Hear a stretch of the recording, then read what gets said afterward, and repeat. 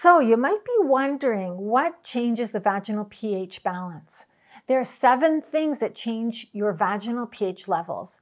A normal vaginal pH level is between 3.8 and 4.5, which is moderately acidic. However, what constitutes a normal pH level can vary slightly based on your stage of life. Normal labia pH is slightly higher.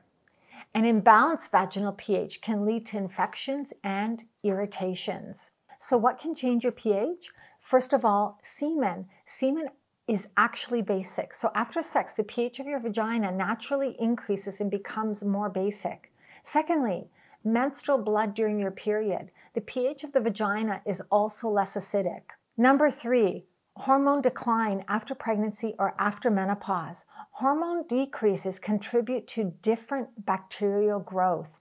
Lactobacillus starts to die off if estrogen is not present, and the result is the vagina becomes more basic.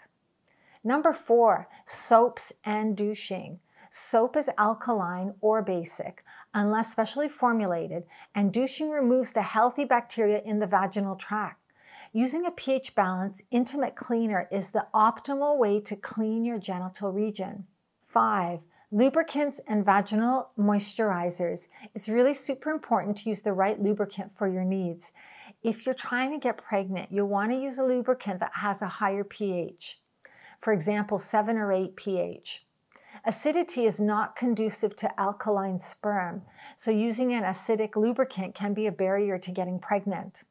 Number six, coconut oil. If you're using coconut oil as a lubricant or moisturizer, keep in mind that coconut oil has a high pH of 7 or 8. Hey, it may feel great on the skin, but it's not a long term solution for the genital tract and can erode the protective acid mantle over the long term. Number seven, medications. People use antibiotics to kill harmful bacteria, but these medications can kill good bacteria as well. This will include bacteria in the vagina. If a person is taking antibiotics, their vagina pH may be way out of balance. So I hope you found this video helpful and learned the seven things that can cause an imbalance to your vagina's pH. Please like, share with your friends, subscribe to our channel, and here's to healthy vaginas.